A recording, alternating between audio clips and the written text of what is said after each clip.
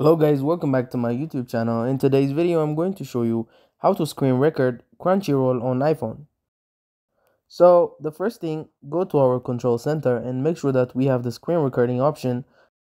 So this is basically an option that, well, everyone has if they have an iPhone and basically it says what it does. It records your screen. How do you use it? Well, just simply tap on it and it's going to start recording within 3 seconds.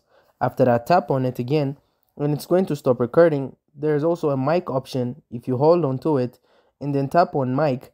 If this is on, then of course it's going to pick up your voice and if it's off, then it's going to turn off the audio from your voice. So just go on ahead and go to Crunchyroll and choose an episode from any kind of anime and then watch it and now you are screen recording your Crunchyroll videos. So yeah, that's about it. So for this video, once again, go to your control center, add the screen recording option and make sure you start recording and just watch a video on Crunchyroll and it's going to start recording that. So that's it. Thank you guys for watching this video. If this video was helpful, don't forget to like and subscribe to my YouTube channel.